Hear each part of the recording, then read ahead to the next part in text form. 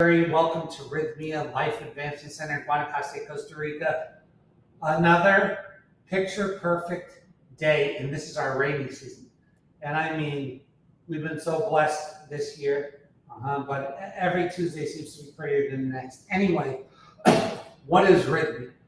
Rythmia is a life advancement center that uses ayahuasca uh, and other modalities to bring about something called a soul merger uh-huh, or a solar, a soul reclamation. Excuse me, please. In certain uh, cultures, it's called a soul reclamation. It goes back uh, about 12,000 years. We call it a soul merger, and and we built a whole business to assist in that process. And how well does it work? Well, as of today, 97.11% of everybody who's gone through the doors, and there's been 12,500 people through the doors, have reported uh, a miracle during their stay. The more interesting part is six months later, uh, they receive a second survey, and 91.88% of them say that that miracle is still working in their life, and that this was the week that changed their life. Uh-huh, that's how, what kind of place uh, this is. Uh, so some of these we're we're a top ten resort in the world on on TripAdvisor with over two thousand reviews. Uh, and and again, like I said, we had twelve thousand five hundred people through the door. All kinds of people come here. A lot of uh, a lot of entertainers, a lot of uh, athletes, uh, a lot of of business people and a lot of regular people like you and me. Lots of people come to this place, and and uh, when they do, it changes their life. I'm so lucky to be a part of something as wild as this, and it is a wild one. Uh, it's just a combination of plant medicine and all these other modalities that bring about this wild week, and that's the only way that I know how to explain. Because if I use any other term, it short sells it. It is a wild week. It's a wild week. Uh, last week we had about 90 people here. Uh, Jack Canfield was here this week. Uh, a little bit less, but still super, super, super busy. Uh, and we're busy every week. And, and uh, in 2023 starts every other week is Juanito week. So it's going to just be packed, always packed. Okay. A little bit about what this is called Blessed by Design. In the last series of 10, uh, what we did is we highlighted uh, surveys and studies that had been done on uh, the attributes of success. And in this uh, in this series, we're going to talk about how to set up your design uh, so that the blessings occur. Because everything we do today affects uh, how our life unfolds tomorrow. It's just the way that it is. And last week I talked about a lot of a lot of different things, but I'm going to go back in and drill into some of those a little bit more. Do not rely on motivation. If you rely on motivation, you will fail. I want you to hear that. If you rely on motivation, you're going to fail. Because motivation is inconsistent.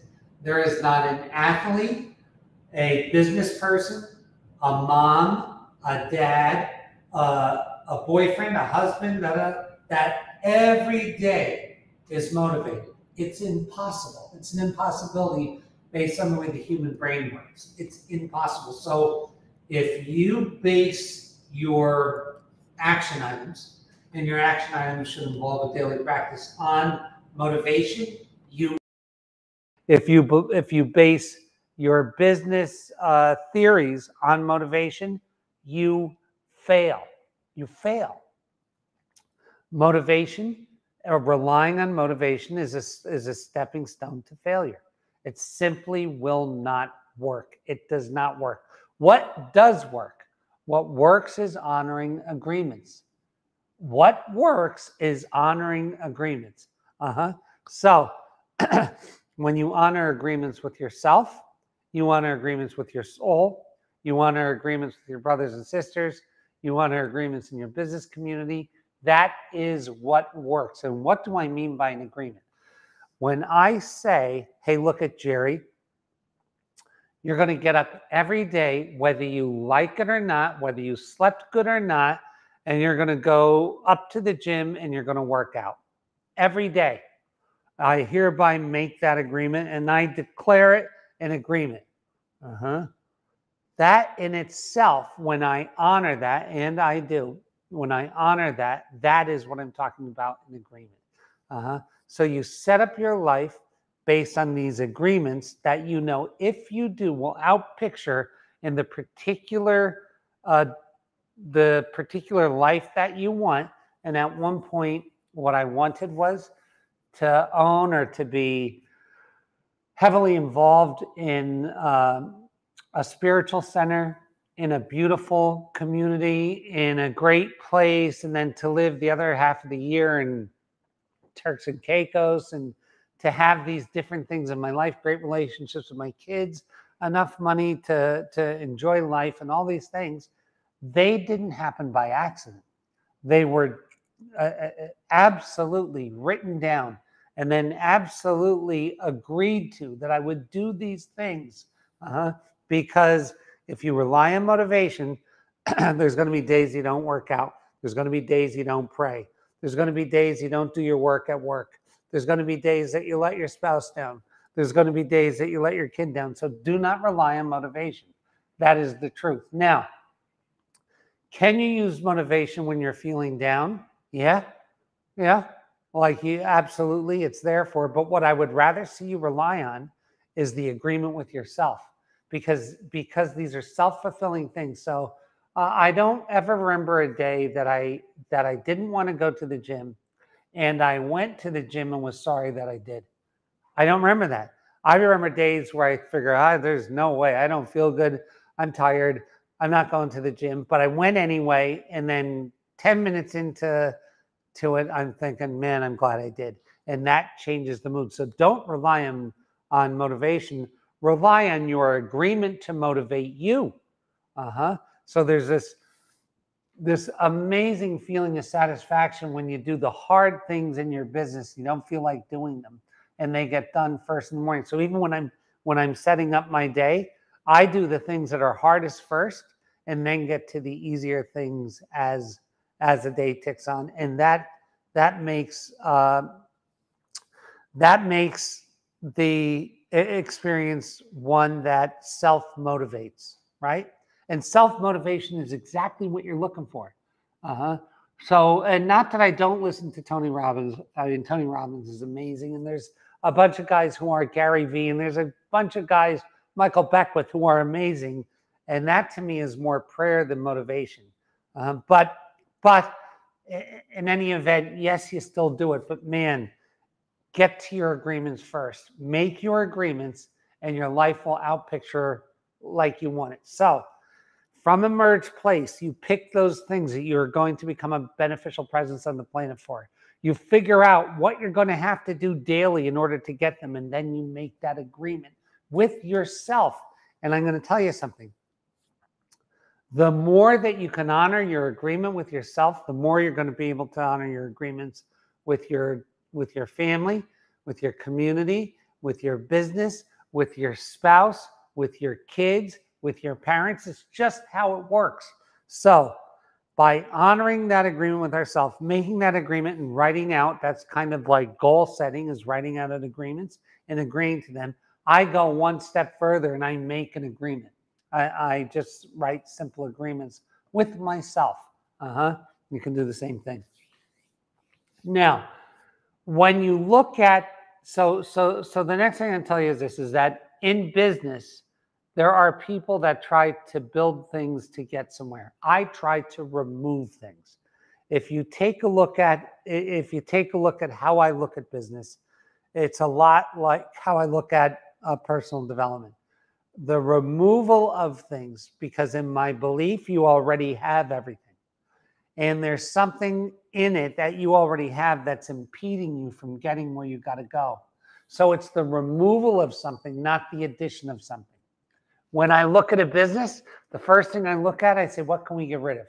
What in the offer can we get rid of to make it less confusing? What in the delivery can we get rid of to make it less expensive? What what can we get rid of, not what can we add?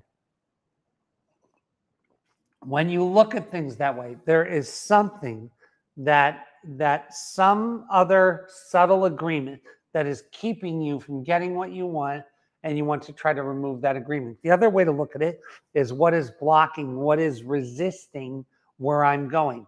Uh-huh. If you wrote it down, if you wrote it down, you made an agreement and you see that there's this resistance, well, there's all different types of resistance, okay? So so I want to talk to you about that. Just because there's resistance, that does not mean you stop. As a matter of fact, it means you go harder. Uh-huh. So so uh I open a store and not not as many people show up as I want, but the people who show up are extremely happy. That's shown me I'm on the right path. So now I dig down and dig down and and find a way to survive until the public catches on that what I'm doing in my store is really unique and good.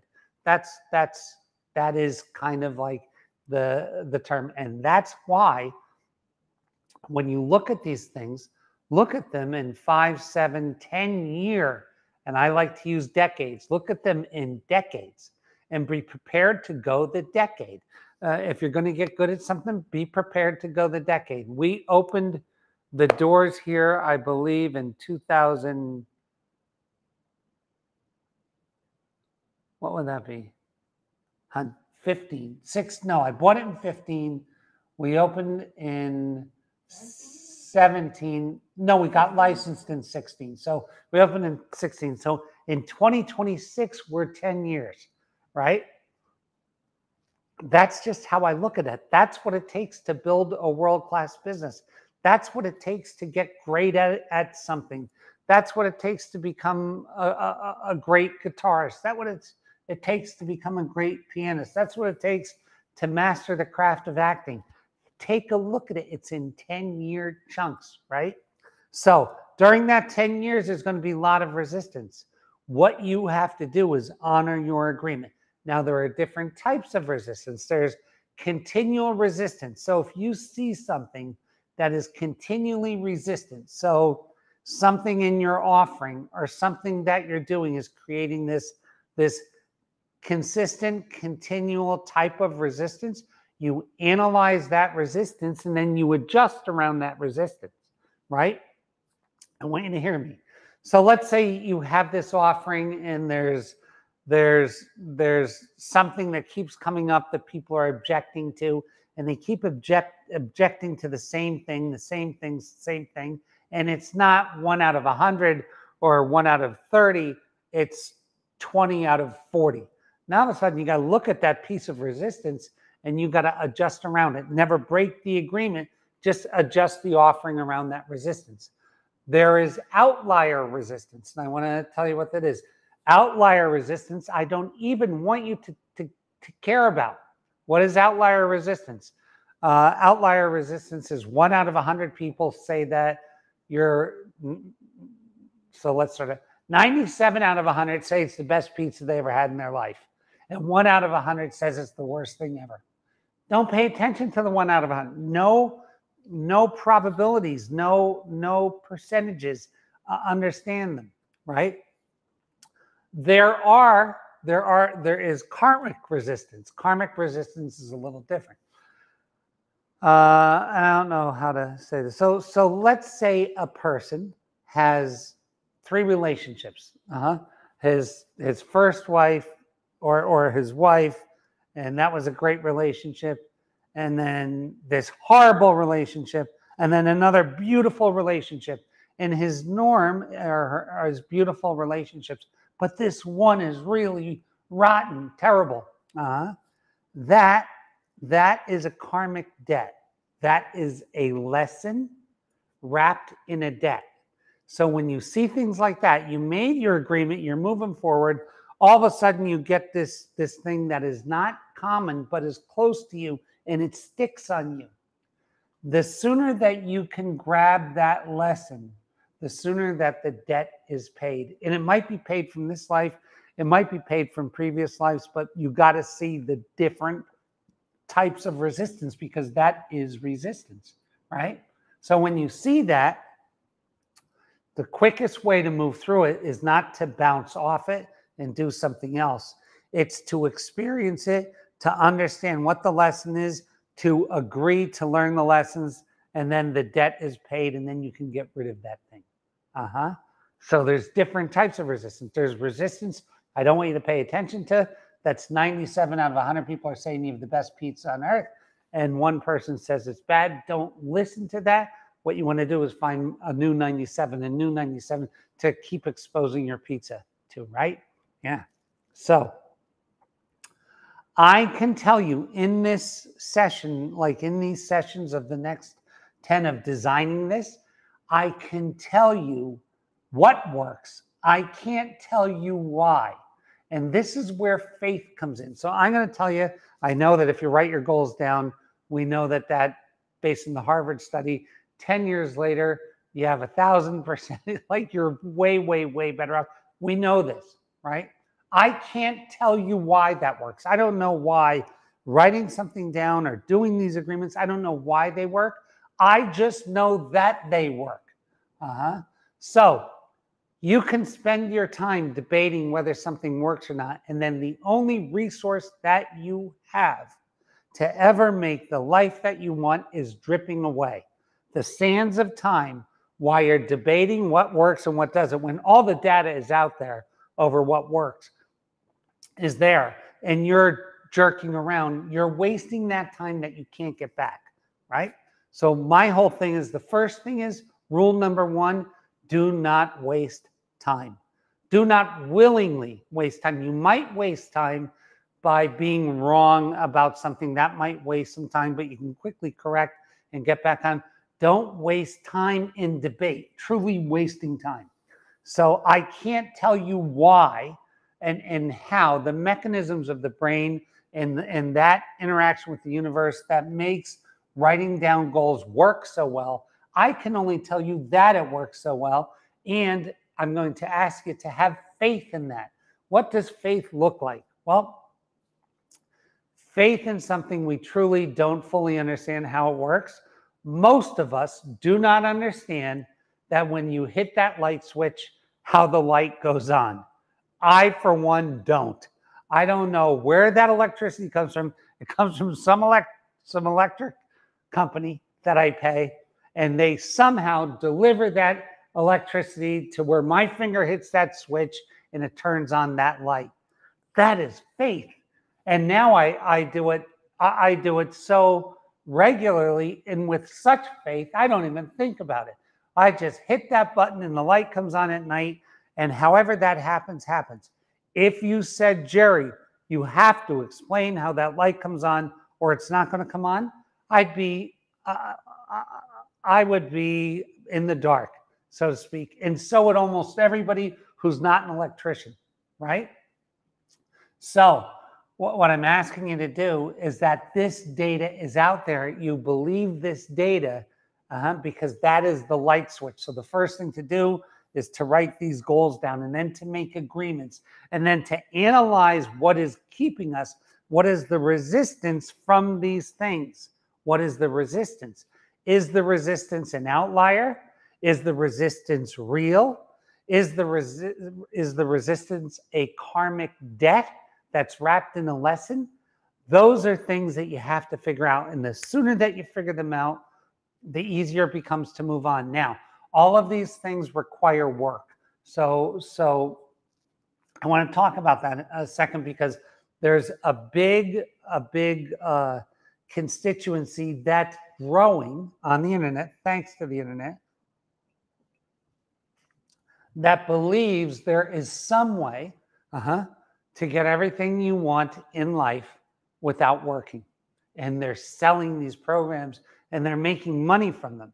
So the creators of the programs are doing some work and and and having these programs created and selling them.